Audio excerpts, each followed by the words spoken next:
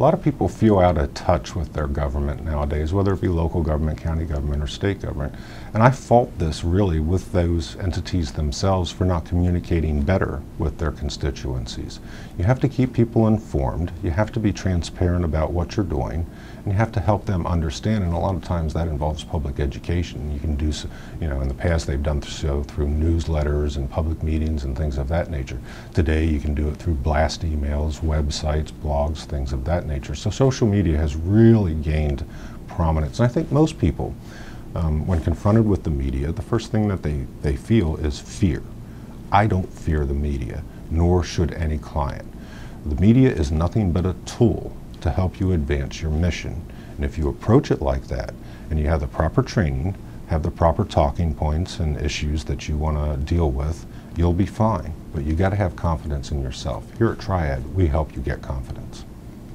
The smart thing to do today is to use social media tools to help advance your communications mission.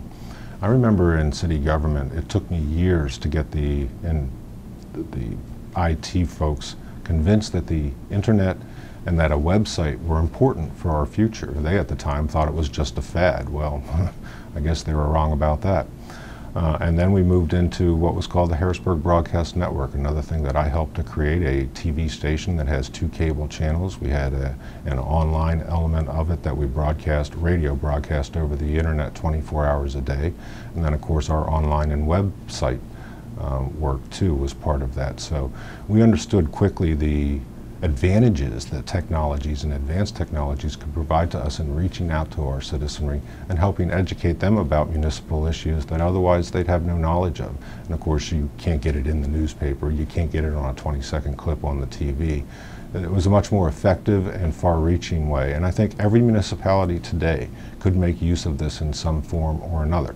Most people have the internet today. Most people have email. That's a way to develop a one-on-one conversation with your constituencies that many, many municipalities are missing the boat on.